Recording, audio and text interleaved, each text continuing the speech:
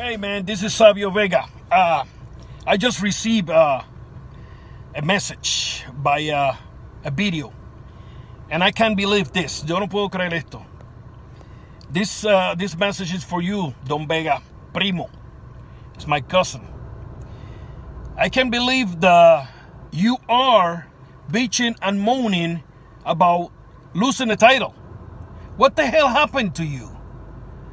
Our family don't cry for nothing. When I say nothing is nothing. You know, uncle was a tough man. My dad is a tough man.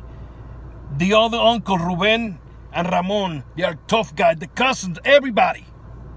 Our family is made as a tough guys. No crying baby.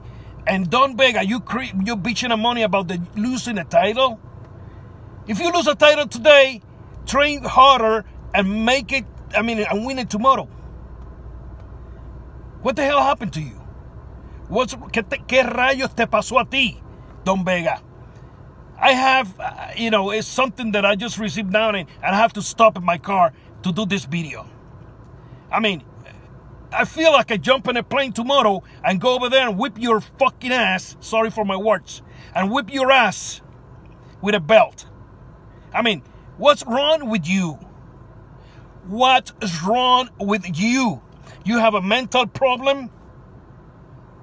Stop bitching and moaning, or I gonna get a ticket and jump in a plane and whip your ass with a belt like a stupid kid.